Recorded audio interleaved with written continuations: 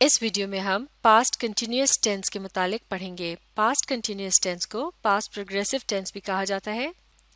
लेकिन चूँकि ज़्यादातर पास्ट कंटिन्यूस टेंस के नाम का इस्तेमाल किया जाता है तो हम भी इसी नाम को इस्तेमाल करेंगे।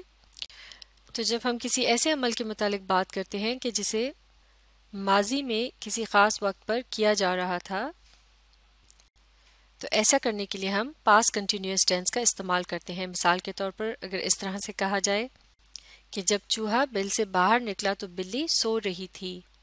तो यहाँ एक ऐसे अमल के मुतालिक बात हो रही है जो कि माजी में हुआ या फिर उसे होते हुए देखा गया और उस दौरान एक ऐसा अमल भी हो रहा था जो कि जारी था यानी नामुकम्मल था। मिसाल के तौर पर बिल्ली जो है वो सो रही थी, यानी बिल्ली का ये अमल जारी था। तो जारी रहने वाले अमल के लिए कंटिन्यूस के लफ्ज़ का इस्तेमाल होता है। और चूँकि ये अमल माजी में जारी था, लिहाजा इस जुमले के टेंस के मुतालिक कहा जाएगा कि ये पास कंटिन्यूस टेंस है। तो पास कंटिन्यूस टेंस का इस्तेमाल ज़्यादातर किस्से कहानियों में किया जाता है। मिसाल के तौर पर इस जुमले को देखते हैं। The sun was shining and the birds were singing as the elephant came out of the jungle यानी जब हाथी जंगल से बाहर निकला या बाहर आया तो सूरज चमक रहा था और परिंदे चहचहा रहे थे या फिर परिंदे गा रहे थे। तो यहाँ ये बताया जा रहा है कि जिस वक्त हाथी जंगल से बाहर आया, उस वक्त सूरज के चमकने का अमल और परिंदों के गाने का अमल जो है ये जारी था। तो उर्दू तर्जुमे के लिहाज से भी अगर देखा जाए तो रहा था या रहे थे जैसे अल्फाज जो हैं, इनकी मदद से पता चलता है कि यह अमल माजी में किया गया था और उस वक़्त वो जारी था। यानी नामुकम्मल था। अब इसी टेंस से मुतालिक कुछ और जुमले देखते हैं। मिलकर इस जुमले को पढ़ेंगे। I was having a beautiful dream when the alarm clock rang यानी मैं एक खूबसूरत ख्वाब देख रहा था जब अलार्म बजा। तो जब अलार्म बजा तो एक खूबसूरत ख्वाब देखने का अमल जो है, ये जारी था। इसीलिए यहाँ देख रहा था कि अल्फाज का इस्तेमाल किया गया है। अब देखते हैं अगला जुमला।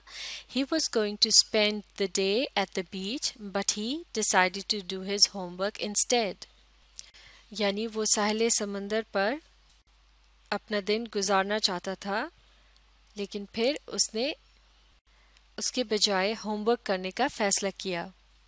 अब अगला जुमला। We were wondering if you could help us today यानी हम सोच रहे थे कि अगर आप आज हमारी मदद कर सकें। अब आखिरी जुमला they were waiting for the bus when the rain began यानी वो बस का इंतज़ार कर रहे थे जब बारिश शुरू हुई।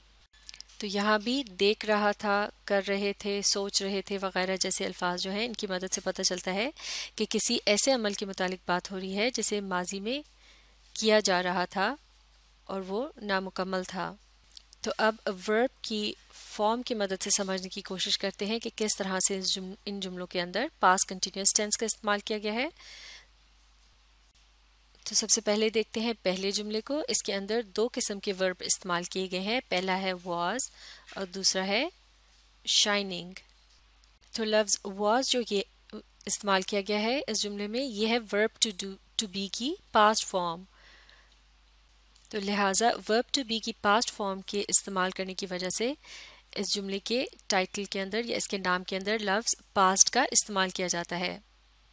यानी इस जुमले में जो टेंस इस्तेमाल किया गया है, उसके नाम में लफ्ज़ पास्ट का जो इस्तेमाल आ रहा है, वो वर्ब टू बी की पास्ट फॉर्म के इस्तेमाल की वजह से आ रहा है।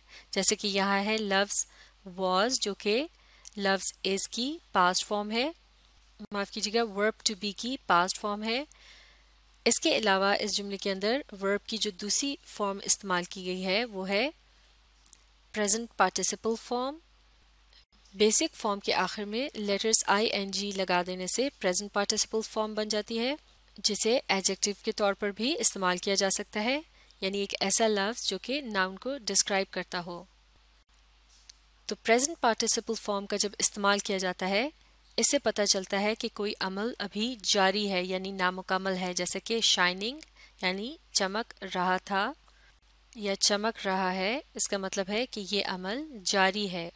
तो जारी रहने वाले अमल के लिए इंग्लिश में कंटिन्यूस का लफ्ज़ इस्तेमाल किया जाता है। इस तरह से इस टेंस के नाम के अंदर लफ्ज़ कंटिन्यूस का भी इस्तेमाल किया जाता है। तो इस तरह से ये बन जाता है पास्ट कंटिन्यूस टेंस जुमले के अगले हिस्से में भी देखा जा सकता है। कि वर्ब्स की जो दो फॉर्म्स इस्तेमाल की हैं, की गई हैं, वो इसी तरह से हैं। जैसे कि यहाँ है लफ्ज़ बर्ड्स वर सिंगिंग तो यहाँ वर्ब है वर और ये क्या है? ये वर्ब टू बी की पास्ट फॉर्म है। जबकि लफ्ज़ सिंगिंग जो है, ये क्या है? ये वर्ब की प्रेजेंट पार्टिसिपल फॉर्म है। लफ्ज़ वॉज़ और वर ये दोनों ही वर्ब टू बी की पास्ट फॉर्म्स हैं। अगर किसी जुमले में लफ्ज़ ही शी इट या आई में से कोई एक सब्जेक्ट के तौर पर इस्तेमाल किया जा रहा हो तो उसके साथ लफ्ज़ वॉज़ का इस्तेमाल किया जाएगा पास्ट कंटिन्यूस टेंस के जुमले के अंदर। इसी तरह से अगर किसी जुमले में लफ्ज़ यू वी या दे में से कोई एक सब्जेक्ट के तौर पर इस्तेमाल किया जा रहा हो तो उस जुमले में इन अल्फाज के साथ लफ्ज़ वर का इस्तेमाल किया जाएगा, अगर वो जुमला पास कंटिन्यूस टेंस के अंदर बनाया जाए। जैसे कि he was she was it was I was इसी तरह से यू वर वी वर और दे वर तो अब हम इसी तरह से बाकी के जुमलों में भी देख सकते हैं कि वर्ब टू बी की पास्ट फॉर्म का इस्तेमाल किया गया है। जैसे कि इस जुमले में आप देख सकते हैं I was he was we were और दे वर इसके अलावा इन तमाम जुमलों में प्रेजेंट पार्टिसिपल का भी इस्तेमाल किया गया है। जैसे कि आई वॉज़ के बाद है loves having He was going, we were wondering, and they were waiting. तो हैविंग गोइंग वॉन्डरिंग और वेटिंग ये तमाम वर्ब्स जो हैं ये प्रेजेंट पार्टिसिपल फॉर्म के अंदर हैं इन सब के आखिर में लेटर्स आई एन जी आ रहे हैं तो इसका मतलब ये हुआ कि अगर किसी जुमले में लफ्ज़ वाज या वर्ब का इस्तेमाल आ रहा हो और उसके बाद एक वर्ब का इस्तेमाल किया गया हो जो कि प्रेजेंट पार्टिसिपल फॉर्म में हो यानी उस एक्शन वर्ड के आखिर में लेटर्स आई एन जी आ रहे हों, इसका मतलब है कि वो जुमला जो है, वो पास्ट कंटिन्यूस टेंस के फॉर्म में बनाया गया है। तो इस टेंस की मदद से किसी ऐसे अमल के मुतालिक बात की जाती है जो कि माजी में जारी रहा हो।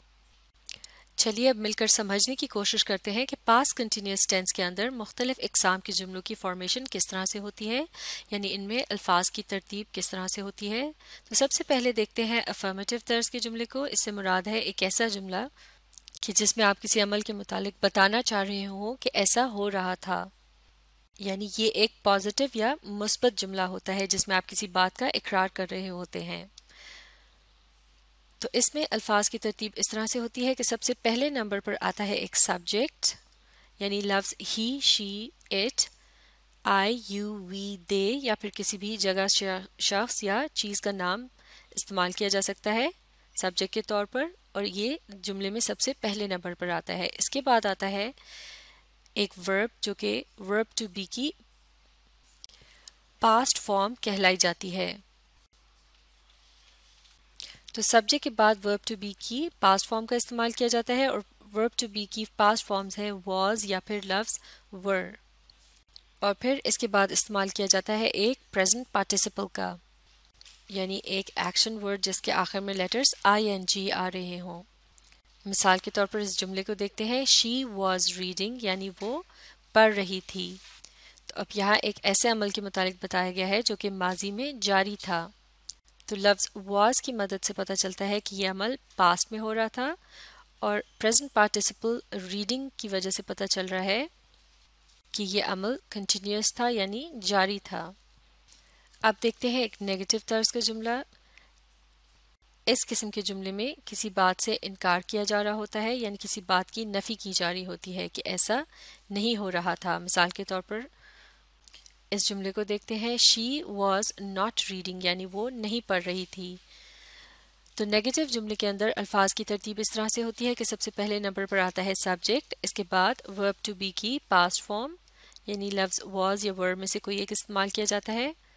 इसके बाद लफ्ज़ नॉट का इजाफा किया जाता है और फिर आखिर में आता है एक प्रेजेंट पार्टिसिपल तो इस तरह से अफर्मेटिव और नेगेटिव जुमले में अल्फाज की तरतीब तकरीबन एक ही तरह से होती है। सिर्फ़ नेगेटिव जुमले के अंदर वर्ब टू बी की पास फॉर्म के बाद लफ्ज़ नॉट का इजाफा किया जाता है।